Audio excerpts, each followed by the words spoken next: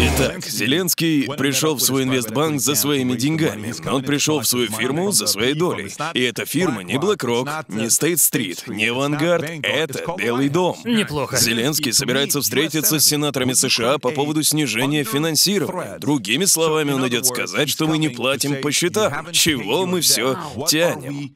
Во время своего визита в Вашингтон Президент Украины Зеленский должен встретиться с главными сенаторами США, включая Чака Шумера и Митча МакКоннелла. Целью встречи является подтверждение намерений США по помощи и поддержке Украины и возврате оккупированных Россией территорий.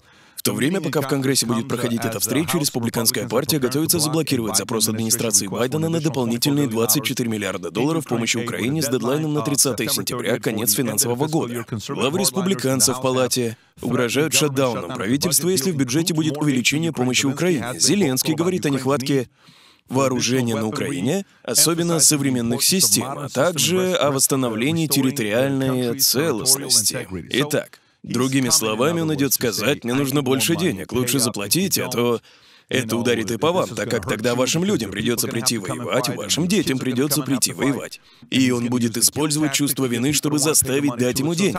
Итак, Том, как думаешь, чем весь этот визит Зеленского закончится? Ну, тут есть два момента, и ты упомянул об одном из них. У нас опять обсуждение по госдолгу. И именно так. У нас опять обсуждение по госдолгу. И все может... Зеленскому... Слушай, по-моему, тут происходит что-то сомнительное. Ну, знаешь, мы посылаем деньги, а не оружие. Почему бы не посылать деньги в виде оружия? А мы вместо этого посылаем всю эту помощь, и я не уверен, что она вообще доходит до людей. И я думаю, что, во-первых, это именно то, что нужно Кевину Маккарти. Потому что это поможет ему при обсуждении госдолга. И, кстати, США только что на прошлой неделе преодолели 33 триллиона, так что теперь 33. Так что наши изумительные законодатели, Наши представляющие нас конгрессмены со времен прошлого обсуждения госдолга ухитрились тратить по этой кредитке всего 1 триллион в месяц. А за последние пять лет они добавили еще 11,5 триллионов. Так что 33% из 33 триллионов было добавлено только за последние пять лет, с тех пор, как они за всех нас договорились по госдолгу. И при заключении нового договора по госдолгу у них есть преимущество. Именно поэтому Кевин Маккарти говорит, я получу то, что мне нужно, и это не обязательно снизит госдолг. Зеленскому тоже что-то перепадет. Администрация Байдена тоже не уйдет с пустыми руками. Но зато Маккарти получит то, чего хочет его партия. И это все будет и дальше продолжаться за счет американских налогоплательщиков. Это уже даже не смешно. Мы создали Франкенштейна. Этот парень, его страна сейчас воюет, так? А он летит сюда, потому что мы сказали, эй, мы собираемся дать тебе денег. Чувак прилетает и такой, вы мне тут денег пообещали. Ну и где они? Вы понимаете, до, до, до чего у нас все дошло? Когда президент другой страны, которому мы сказали, ну да, мы собираемся когда-нибудь дать тебе денег, но другие такие, нет, мы не можем себе этого позволить, и он садится на самолет и такой, эй, вы чё? Пэт, это не, не, не только... Знаешь, что это похоже? Это как когда у тебя есть деньги, вы идете с друзьями в ресторан, и все ждут, что по счету будешь платить ты. Именно. Это как если вы вышли куда-то семьей, члены семьи говорят тебе, ну у тебя же есть деньги, почему бы тебе не заплатить за все? Это как три кузена. Сестра зарабатывает больше всех, она директор, у нее степень, зарабатывает 280 в год. Остальные два — это ее младшие братья, не особо трудолюбивые. Один зарабатывает 120, другой 60.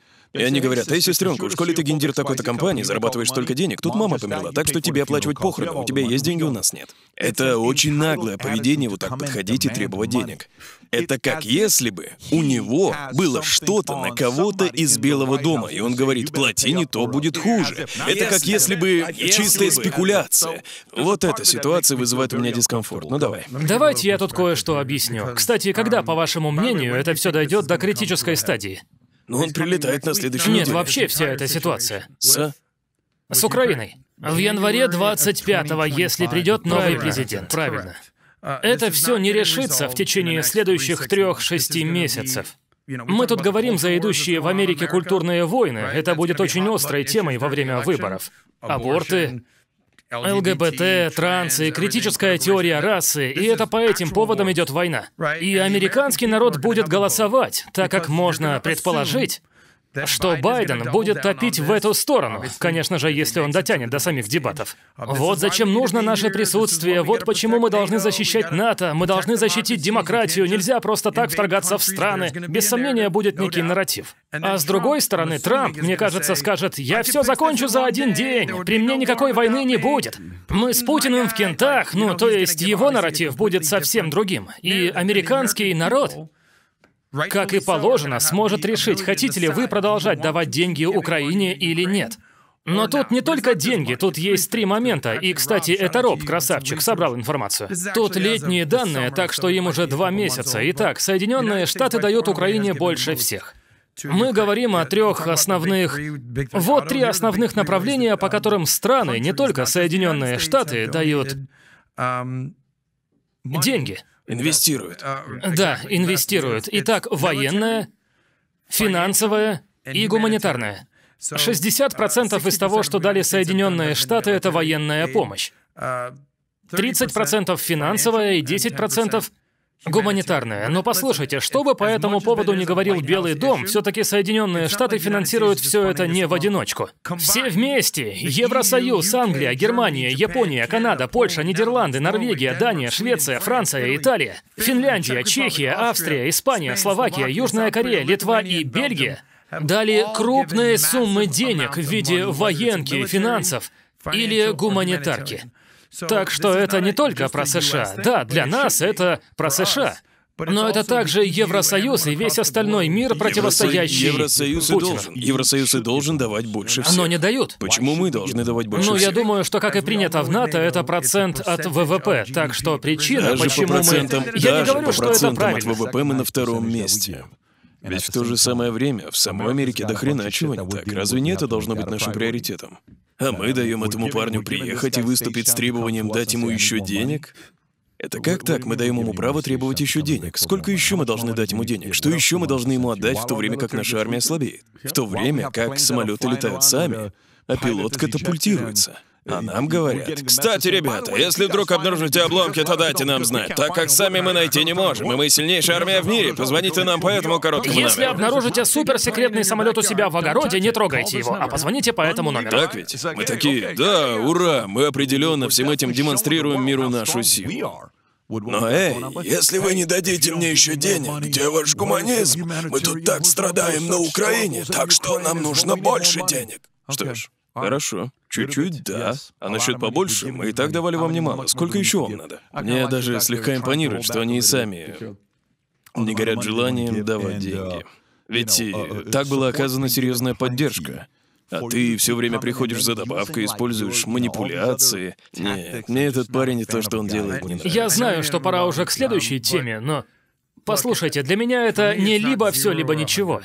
Вот, например, Кэндис Оуэнс. Мне очень понравился наш разговор во вторник с Кэндис. Это было изумительно. Она такая, ничего, ноль, ничего не давать, да пошли они и так далее. Но тогда появляются вопросы. А если Китай вторгнется в Тайвань, то мы никак не отреагируем? Или, не дай бог, новая мировая война, тоже останемся в стороне? Мы теперь изоляционисты, абсолютные либертарианцы? Или же мы... Мировой полицейский, везде лезем. 850 баз по всему миру. 780. 780. Так что из двух в этой теме не все так однозначно. Ведь в конце концов американский народ, американский народ, будет принимать это решение. Вы хотите больше вмешиваться или меньше? Давайте к следующей теме. Мы не можем, как в Афганистане, просто швыряться деньгами. Давайте к следующей теме.